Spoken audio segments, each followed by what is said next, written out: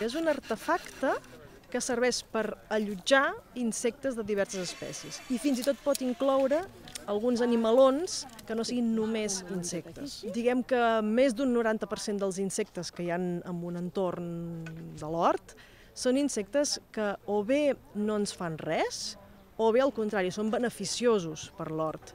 I només un percentatge molt i molt petit són insectes que poden perjudicar.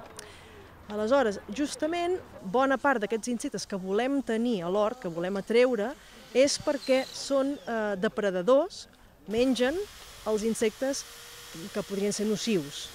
I per altra banda, també volem atreure un altre tipus d'insectes que seria eh, insectes que fan funcions de polinització. Eh, el més conegut és que hi ha les marietes i especialment les larves de marieta que mengen pugó. Llavors tu t'interessa en el teu hort tenir insectes en general, perquè tu vols tenir marietes, però que no només marietes, hi ha molts altres insectes que mengen pugó. El de l'hotel d'insectes és molt adequat per una escola, per exemple, i cada vegada hi ha escoles més interessades. Sí que va, va creixent tot això. Fins i tot se'n troben de comercials, eh? sí que es poden comprar, però home, també és part de la gràcia construir-se un mateix. Aquí hi ha un forat més que hi voleu posar?